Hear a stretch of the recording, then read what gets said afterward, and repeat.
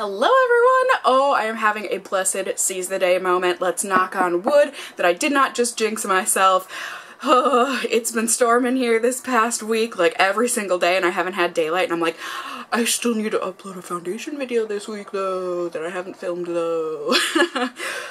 But it looks like even though it is completely overcast today, I've got enough light to film this video, so hopefully I can get through it. I mean, I'm excited to film it because this is at least one of the products that I'm testing is something that I've wanted to test for a long time now and I just haven't gotten around to it. But L'Oreal recently sent me 15 pounds of makeup, so again, seize the day let's finally test this out. This foundation anyways is what I consider a true classic here in the online beauty community. I feel like when the beauty community kind of exploded in the very beginning, a lot of people used and loved this foundation. I've never tried it though, at least not that I can remember. And then also, I think they actually have two different concealers in this line, but the concealer that L'Oreal sent out was this True Match Super Blendable Multi-Use Concealer. So, the foundation here. For an ounce of product, it is $10.99. It looks like there are 32 different shades available, if I counted correctly. Here is the actual line out of these foundations, at least as far as I I know. Don't even worry, whenever I get packages like this, all donated to charity, women's shelters, that sort of a thing, because what I don't need all of this.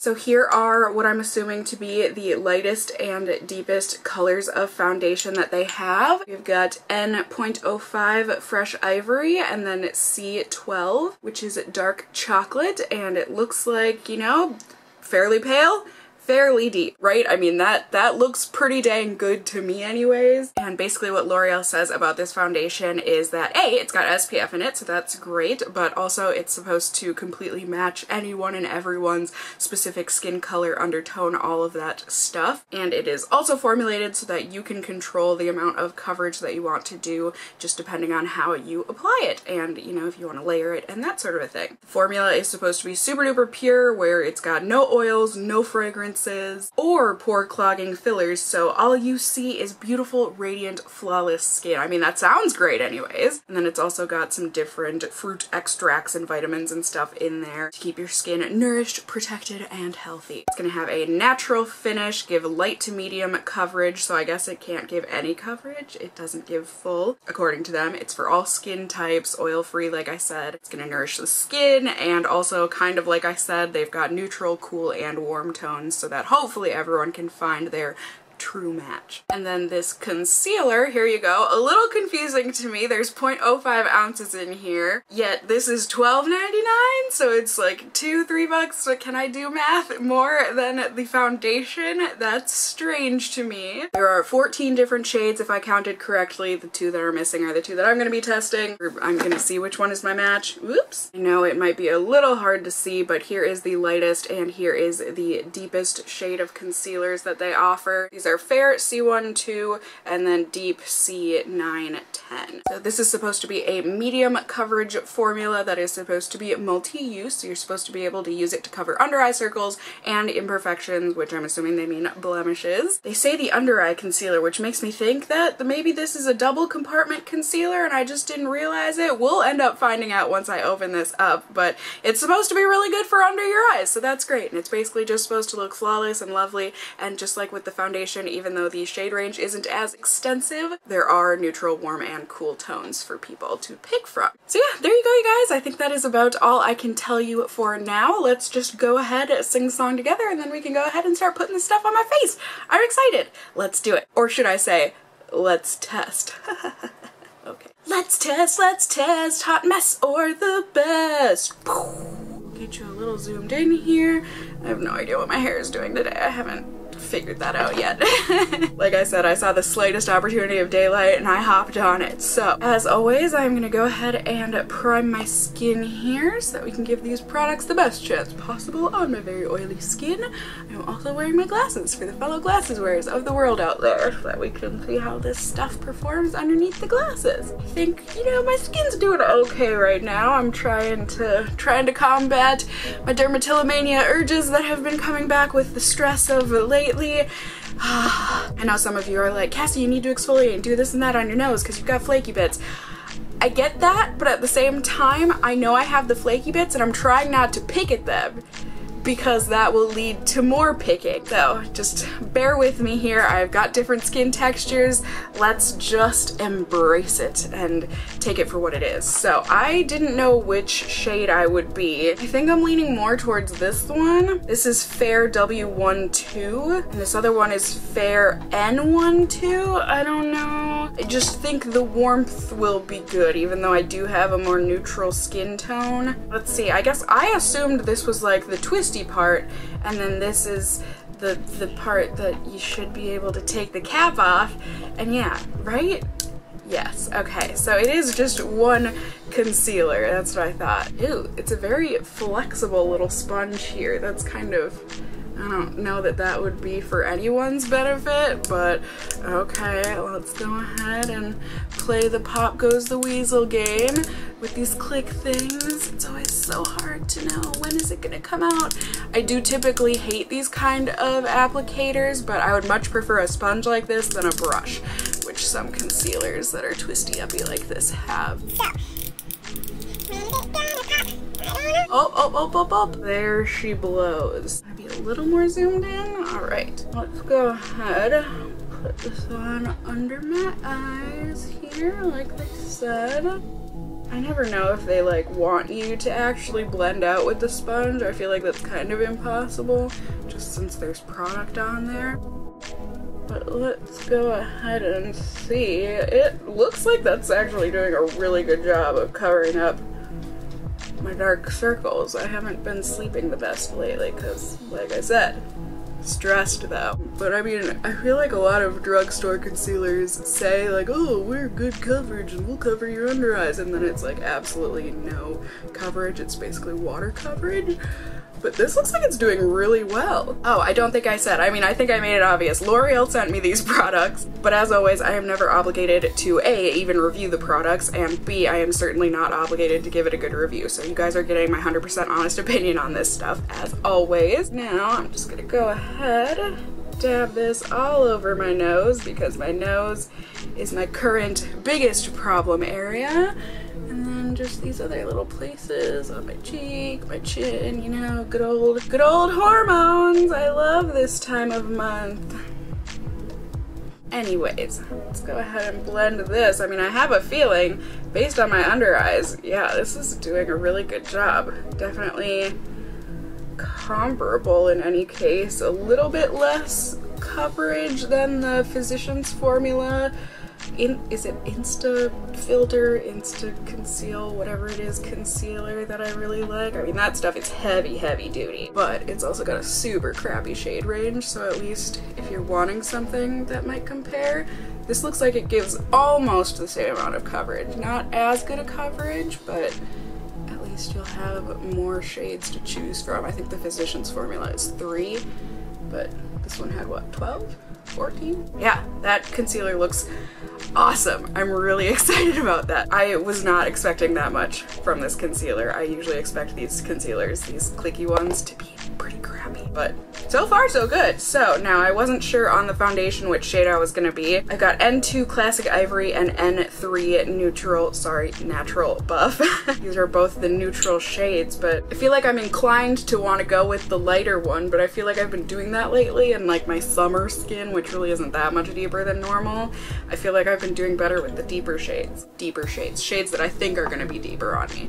So I'm just gonna test this out. We'll see. So I'm going with N3 here. Shake it up. Now, these bottles, as far as I know, do not have a pump, which is unfortunate. I do prefer a pump on my foundations. These that you just dump out, it's always a risk.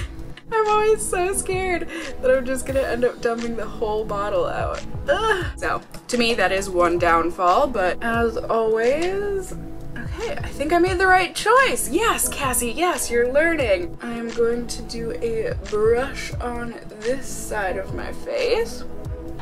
See how this looks. And then I'll do a sponge on the other half. Like I said, I do think this was my my good shade match. So yay! Oh, I am so excited. This is actually looking a bit more matte than I was expecting it to look. I guess, you know, it's saying that it's a natural look. I expect it to look a bit more dewy, but for me and my oily skin anyways, this is actually a good a good thing because if it's starting off looking a bit matte, at least then it gives me the hopes that maybe you know, as the day goes on and my skin gets oily, then it'll blend with the matteness and just make my skin look normal. So, I don't know, you guys. As of right now, this is looking like this is a classic in the beauty community for a reason. I feel like this is looking really good on my skin. Maybe it's because I don't have my glasses on. I'll find out in a minute here, but it's blending really easy, feels nice and lightweight, and even though it didn't do badly with the brush, got a feeling this is gonna look good with a sponge. Time will tell, but let's see how this does.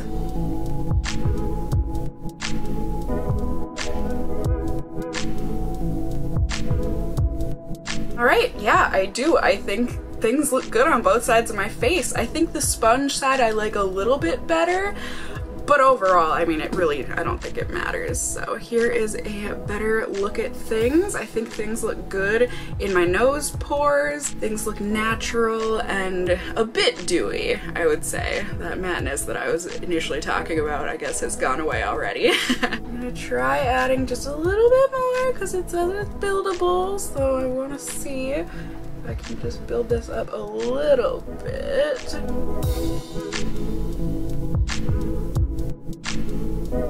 I say yes, absolutely this is buildable. I know L'Oreal said that it's a light to medium finish or coverage, but I feel like I got a pretty good medium almost full. Hopefully you can tell when I built this up here on this blemish on my cheek, it took that away. I think. Building it up didn't make it look cakey or anything, I don't think, so Hmm. I'm really excited so far, you guys. I'm gonna go ahead and put on the rest of my makeup. It's not gonna be a lot today, but that's okay.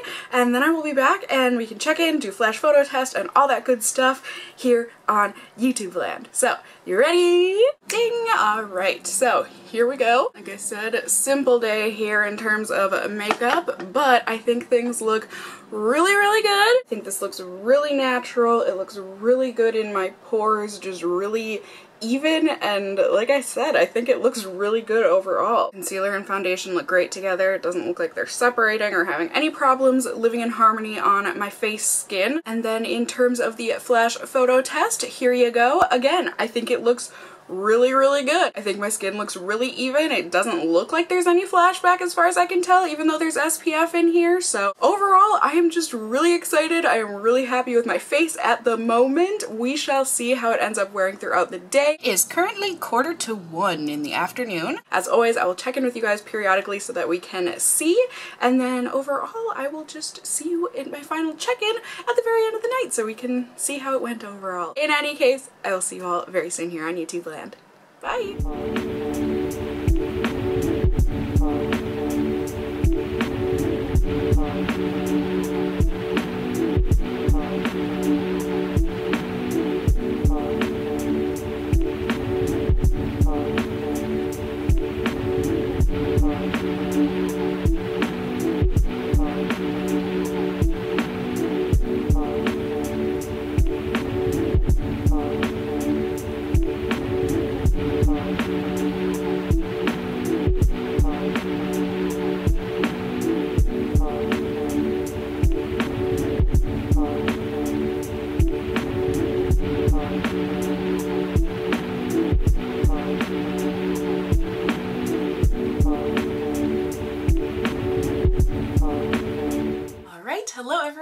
Evening. It is the end of the night here. It is currently just a little bit after midnight in the mid of the night. It's 12.01 a.m. I wanted to stay up a little later just because this video, you know, I had to start it a little later in the day because of the weather, but now I'm having to end it a little early because of the weather. It's starting to thunder and lightning really bad outside, so uh, I'd rather just film this before the electricity might go out. So let's take a look here, see how the foundation and concealer are doing, and then we can talk about it, yeah? Hopefully you guys can see. I know I'm shocked, but my skin looks fantastic, right? Like, I'm not going crazy.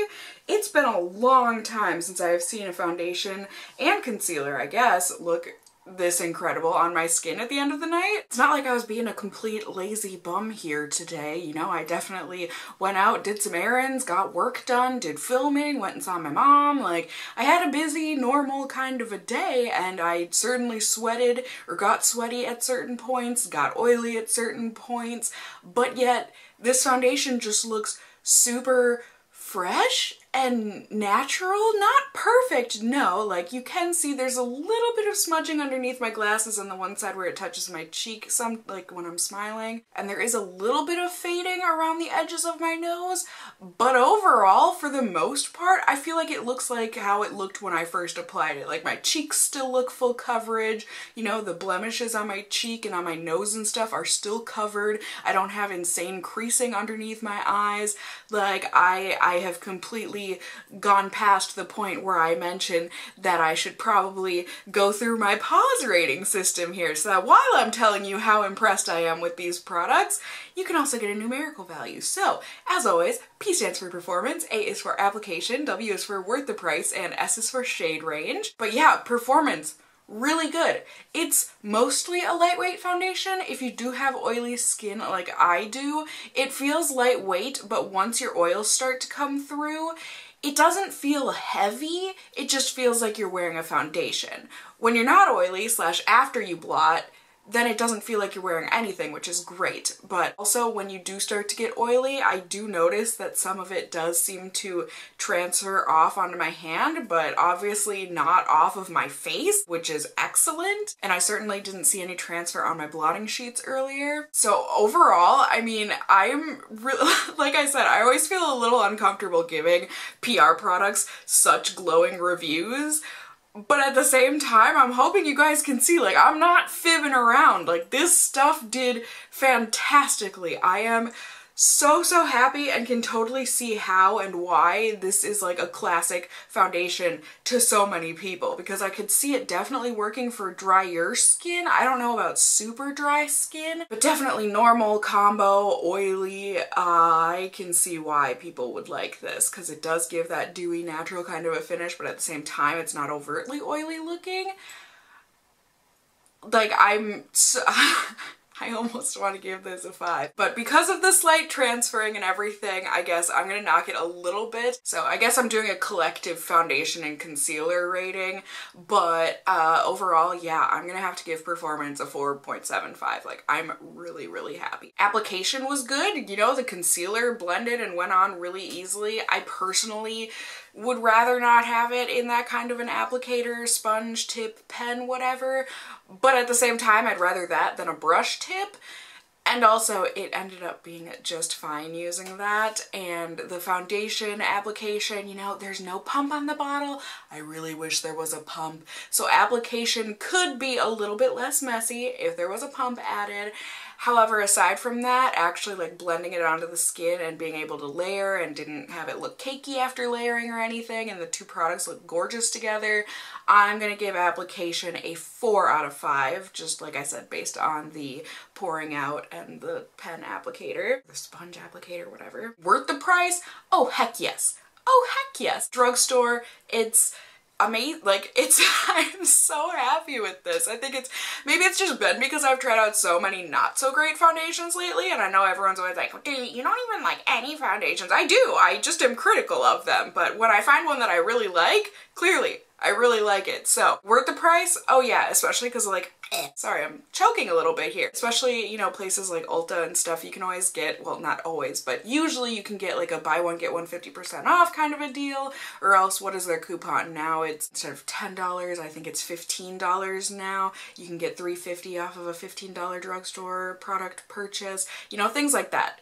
Use coupons, it makes it even more affordable five out of five worth the price for sure. And then shade range, the foundation shade range looks great, especially for a drugstore foundation shade range. The concealer line could certainly be worked on. There are obviously many, many less colors to choose from there, but so yeah, I think the shade range looks great. They've got warm, neutral, cool. They had a very deep shade, a very light shade. They had lots of stuff in between. So I guess I'm gonna go ahead and give it a I'll give it a pretty solid, I'll give it a 4.25. How about that? So overall combined, this foundation and concealer are getting an 18 out of 20. Yes, that's a pretty darn good score from me or a 4.5 out of 5 paws. I would highly recommend this foundation and concealer truly to most people. Like I said, I'm not sure about the very, very dry skinned people of the world, but definitely people who have combo, normal, and oily skin, this concealer and foundation big thumbs up for me. Thank you L'Oreal for sending it to me. I am so happy to keep trying this out and using it. Certainly let me know down in the comments below what kind of skin do you have if you have tried this foundation and concealer. Did you like it? Did you not? Why did you like it? Why did you not? I love hearing from you guys and getting kind of a collective information gathering it down below for people and myself. It's just good to read all of that. And overall, I hope you enjoyed this review, found it helpful, enjoyable, whatever the case may be, please do go ahead, give me a thumbs up down down below. I would really appreciate it. And if you're new here, hey, hi, hello, how are you? You can go ahead and subscribe if you want to see more content from me in the future. You can become a member of my casserole family here on my channel. I would love to have you here. And as always, I just hope you guys are all doing well. And until next time, just stay well until then. Bye!